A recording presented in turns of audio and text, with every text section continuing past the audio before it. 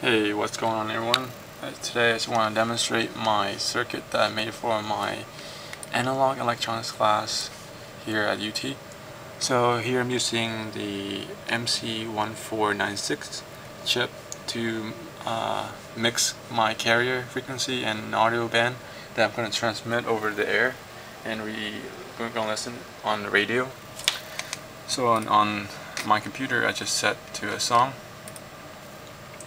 and I'm going to send over the auxiliary uh, audio cable here to over here to my breadboard.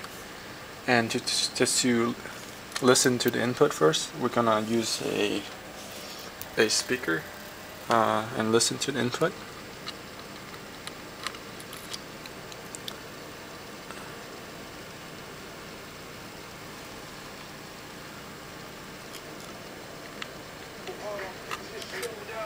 So yeah, that's the input. And ideally we want to send this uh, audio through the carrier over the air and then receive it in the radio. And basically we set the frequency here on the radio to be the same frequency that we transmit with, which is around 1 megahertz.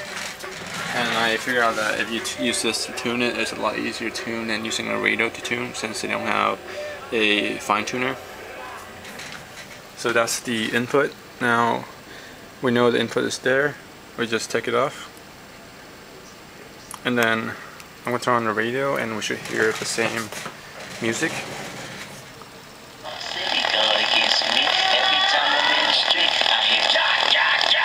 So it works. Uh, leave any questions if you have any. And yeah, tell me what you think about the video. Thanks for watching.